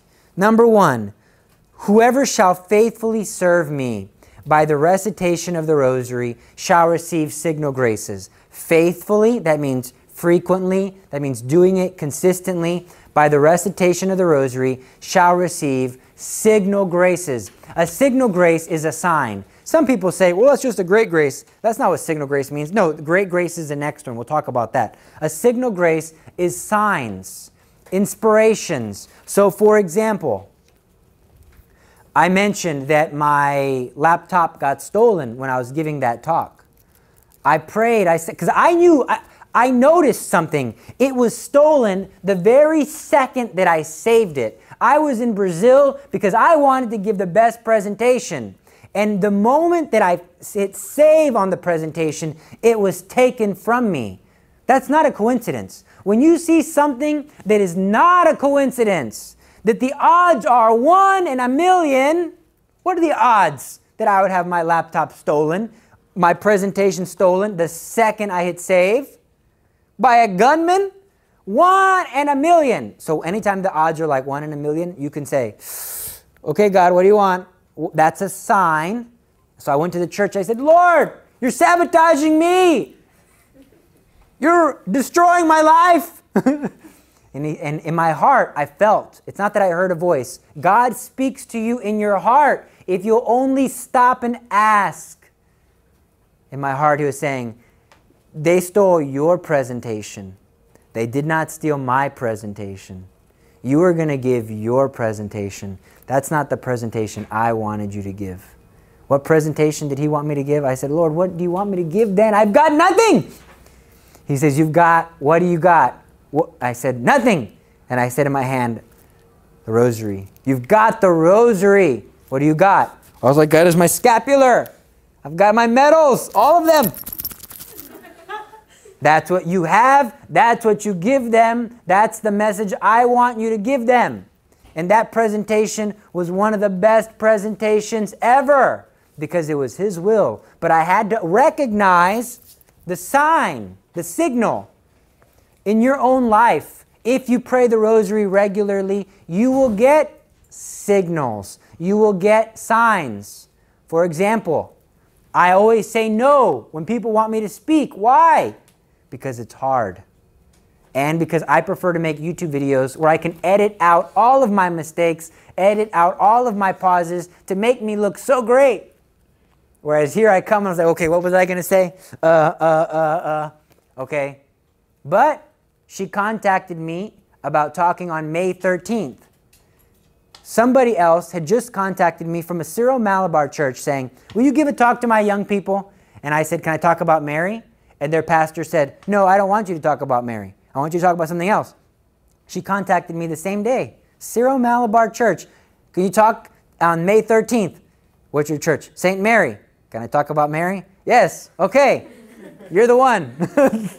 I took it as a sign. You, you might be saying, well, where do I go to college? Should I go to Texas A&M or should I go to University of St. Thomas?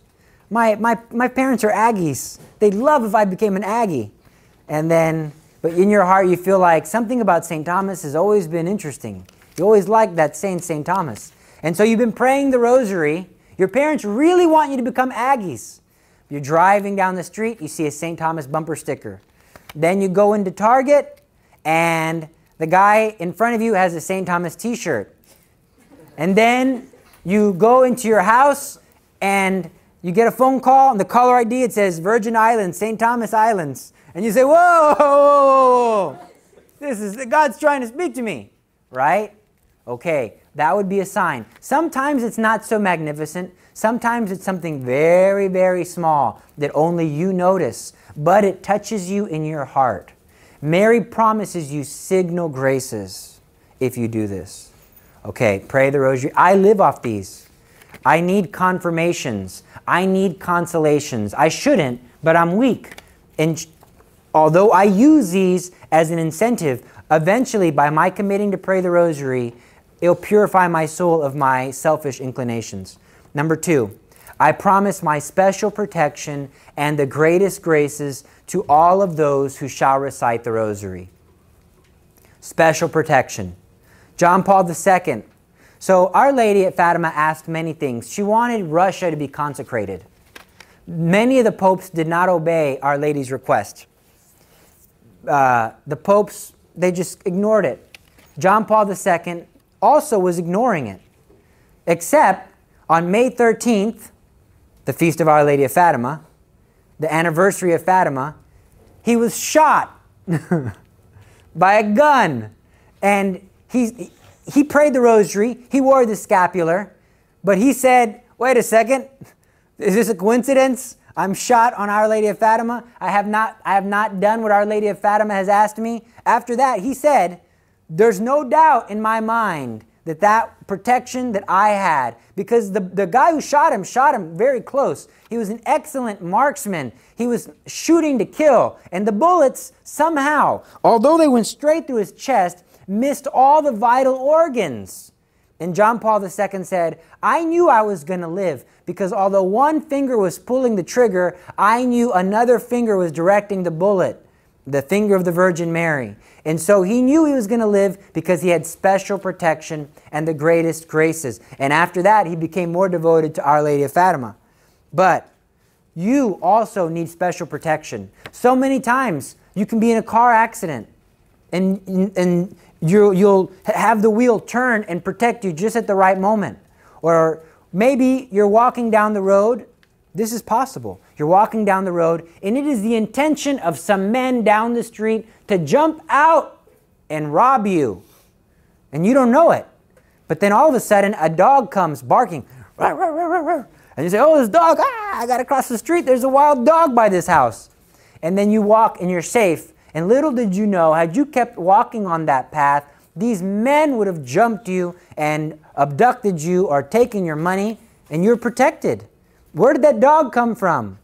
In the lives of the saints, especially St. John Bosco, there was a dog that would always jump out and protect him at the last minute. And he said that this dog was his guardian angel. He'd call it El Grigio because the dog was gray. That means the gray one, the gray dog would protect him. And that could be in your life. That could have been your guardian angel scurrying you across, or that could be divine providence. We all need special protection. Special protection for our souls and for our bodies, for our families, and for our health, etc. Number three, the rosary shall be a powerful armor against hell. It will destroy vice, decrease sin, and defeat heresies. Decrease sin, protect you from the wickedness and snares of the devil. If you're addicted to pornography, are you going to be addicted your whole life? Yes, you will. Why? If you do the same thing over and over again, it's never going to change. If you're addicted to gluttony, eating, eating, eating, eating, eating, if you're addicted to uh, bulimic, you eat so much and then you vomit, you're going to keep that unless there's something that stops it. What's going to stop our habit of sin? Mary's intercession. There's some great holy people who say, you will either give up the rosary or you'll give up your sin. One of the other important things we're going to skip through, I want you to see this one. Those who are faithful to the recitation of the rosary shall during their life and at their death have the light of God and the plenitude of his graces. They shall not die without the sacraments of the church. Think about this. I'm saying, Mary, pray for me now and at the hour of my death 50 times. Let's say I say a thousand rosaries during my lifetime. That's 50,000 Hail Marys asking Mary to pray for me now and at the most important moment that I will ever experience, and that's when I die. So when you die, it will be like having 50,000 Hail Marys coming down upon you. And what you need to realize is that every single day of your life, you're getting closer to death. Many people don't like to think about death, but we have to face it. We need to accept it, that this is a natural part of life, and we have to be prepared. And the best way to prepare is by having all of these Hail Marys that we've prayed throughout our life showered down upon us at the hour of our death. Also, Mary promises that you shall obtain all you ask of me by the recitation of the rosary. What is it that you want? Think about it. What, what would it take for me to get you to pray the rosary every single day? You have to want something. You have to love somebody. There has to be some incentive. What would it take? What is it that you hold most dear in your life that you'd be willing to pray the rosary every single day? Think of it. What would it be? What is it? Mary's promising. Number nine. No, no, number, number nine. See how dumb I am? This is why I do videos, so I can edit all this out, but I'm not going to edit it out. Number 12. No. See how dumb I am? Uh, number 11. That's the one. You shall obtain all you ask of me by the recitation of the rosary. All you ask, as long as it's not going to lead you astray. What is it that you want? Please think of it. What do you love? Who do you care about? If you don't care about your own soul, who do you love that you want to save? If you have a family member who might go to hell, wouldn't you at least pray the rosary for them? What would it take? Do you want to go to a good school? Do you want to impress your parents? Do what, what? I don't know. Even if it's selfish, think of something and commit to praying the rosary. Use that as your incentive. Please. That's what Mary's basically saying. She's saying, please, I'll, I'll, I'll offer you anything. Please, just do it. Because souls are going to hell. And part of the rosary is that it's tough. That is the sacrifice, the discipline that it takes. But after you're done, you're thankful you prayed it. That's the amazing part. Is that before we pray it, we're reluctant. We wait to the last minute. Okay, fine, I'll do it. But then afterwards, we're like, well, that was good. I'm glad I did that. I feel better. Look at me. I prayed the rosary today. You sinners, you never pray. You pagans. It's true, we do that. I do that too. But little do I admit that it's like pulling my teeth to get me to do it. Okay, fine. I'll pray. But you have to understand is that the devil doesn't want you to pray. So he's going to use a couple of tricks to keep you to praying. So I'm going to give you these tricks. I'm going to give you the wrist rosary and then we'll be done with our talk. One thing he's going to say is do it later. So I forgot to mention in the beginning of my talk that although there are extraordinary occasions that the devil works, the ordinary one is through ordinary everyday temptation, through little voices in our head, little tugging saying, nah, you don't need to do that. Rationalize. Do it later. You're busy right now. Pray tomorrow. You went to the retreat today. That's enough. You don't need to pray the rosary today. Pray tomorrow. And then tomorrow comes, eh, that was just yesterday. That's just a religious thing. Maybe on Sundays. And then already, with one little thought, it wasn't scary, it's gone, your devotion. He'll say, Do it tonight. You wait, wait before bed when you can have peace. But I guarantee you, no human being in the history of the world who has ever laid down to pray the rosary did not fall asleep. Why? It can be that you have insomnia and you never sleep. But when you lay down with the rosary and you start saying, Hail Mary, full of grace. the devil himself will be sitting there. Lullaby, go to sleep. Ah, I'll give you a massage. so relaxed. Why? Because you fall asleep and then you don't pray it. Do not wait till the end. Of, if you're going to wait till the end of the day, this is how you pray it. Because no man ever has fallen asleep kneeling. Maybe. I take it back. I should not say that. They're always an exception. Have you been, maybe if you're kneeling, like, can you fall asleep like this? No, because you'll bust your face. Unless you have like a, a stick in your shirt holding you straight up. All right. So don't wait to the last minute. Because what will happen is you will put it off and then say tomorrow. Also, another good reason is you don't need help asleep. You need help throughout the day. Every day when you wake up, you're starting fresh. When you hit the so you could have been like, I'm so holy at night, I'm having visions of God. And then the alarm goes off in the morning. Oh my God, I'm late for school. Oh, I gotta do this. Oh, I can't talk, mom. I can't pray. I gotta go, go, go, go, go, and run. And then you're at school and you're like, blah, blah, or work, and, blah, and you're like, your brain is work, work, work, work, work, work, work, succeed, succeed, fun, relax, and the, all these things in your mind. But if you prayed the rosary in the morning or in the daytime or on your way home from work, then you'll have the grace of God with you all throughout the day. I'm so busy though, man. I can't pray in the morning. Look, you, can, you don't have to do it all at once. That's another lie that happens. You can pray one decade in the morning on your way to school, one decade at lunchtime, one decade on the way home from school, one decade before dinner or after dinner, one decade before bed, because then you'll really finish. It's only one decade. Do you understand? You don't have to do it all at once, and it's better. Now, I'm saying one decade. You want to be a real hero? I'll tell you, John Paul II prayed, I think, four rosaries every day. There's in this book, they brag about the saints who prayed three rosaries every day. They brag about them. It takes 20 minutes. If you can do one 20 minute rosary, you are already one third of the saints. That's easy. You want to be a great saint? Do three a day or four a day. You'll be better than even the greatest saints. Could you imagine? St. John? Wow. St. John of Pearland? Wow, that could be you.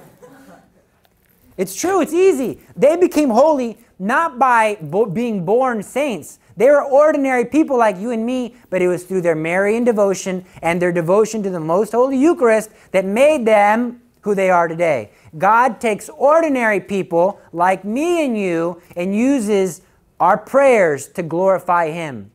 You're only as holy as your prayer life. That's all. You, people say, well, praying helps your relationship with God. That's boo boo. Prayer is your relationship with God. And you make your everyday life a prayer. So don't wait. Please commit. Please. I gave you this book called The Secret of the Rosary. This book is like gold. Please read it. Please, I'm begging you, read it.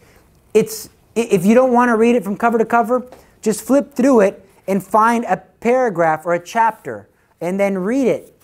It it's more than just about the rosary. The rosary encompasses everything about your Christian faith. It covers spiritual warfare, it covers the life of Jesus, it covers Marian dogmas. It's, it's, it's amazing. Next, I gave you a wrist rosary. Why do I have this wrist rosary? Couple of reasons. One, because I always have a rosary on me at all times, no matter what. Do not leave home without the rosary. It's more important than American Express. You don't leave home without it. Always have the rosary on or with you. Many times, women especially don't have pockets. All you do is you hang it over your arm just like this. You put the crucifix through the hole, and then you wrap it around, and then you tuck it in like that. Another reason why men, especially, have a difficulty keeping their hands to themselves. They get in so much trouble by touching things that they should not. They touch women that they should not be touching. They take things that they should not be taking. They hit people they should not be hitting. They can't keep their hands to themselves. And sometimes their problem is they keep having their hands all over themselves. But if you have the rosary on your wrist, you're less likely to commit any sins. Why? Because there I am. I'm about to steal some uh, nice pens, gel pens. And then I see, oh, I got Jesus on my wrist. I probably should not do that. There I am with my girlfriend. Hey, honey, give me a little smooch. And then she says, okay, watch your traveling hands, young man. Okay. I got Jesus on my hands. I'm not going to touch, put my hands where I should not be putting them. All right. So this is very helpful for that. It also reminds me to pray the rosary. It's another reason why I gave you this picture of the Virgin Mary. Because one day you're not going to want to pray and you're going to walk by this picture and she's going to say, Come on. I'm giving you my heart. Pray the rosary and wear your scapular. Okay. This can and will change your life. God has a plan for your life. You know in your heart that you're special. You know in your heart that God has something special planned for your life. But what's going to happen is we're going to ruin it. We ruin our own lives when we commit sin. We get in the way of God's plan when we're selfish, when we're greedy, when we're anxious, when we don't trust. We do. We ruin God's plan. God could have great plans for us to do amazing things, to, to really impact people's lives. But because our lack of faith, we ruin it. Because we don't have time to be, be still and hear the voice of God speaking in our conscience. What the rosary does is it forces you to be still. The scapular forces you to think about death and what you want out of life. The miraculous medal forces you to be publicly a good person because you represent all of your Christian faith. It, it helps you. These are things that help you to become the best version of yourself. You need good habits. If you want to be successful in, in, in sports, you have to practice every day. You have to stay fit. If you want to be successful in school, you have to stay on your books. You have to stay disciplined. If you want to be as, eh, successful in the spiritual life, the most important thing is going to heaven. You can have a PhD and go to hell. You can be the best athlete and burn in hell. But also, you can be an ignorant child and be canonized a great saint just because you were faithful to the Blessed Virgin Mary. And you will know in your heart that you are doing the will of God. God has a plan, maybe, for you to marry a specific person so that you can have a lot of children and raise them to be great saints. And maybe one of them will be the Pope. Maybe one of them will cure cancer. But because of your own weakness, you give in to sinful temptations and you are doing premarital activities, sexual activities, because you're weak and I can't help it. But when you do these premarital activities, you become attached to the person. And maybe that's not the right person for you. Maybe God is calling you to be a priest or a nun. But because of your sinful attachments, you don't hear the voice of God calling you. And you don't know how many souls He has planned for you to touch. But Mary if you go with her, if you authentically give your life to her, if you keep her with you, she is a good mother. She will say, That man is no good for you.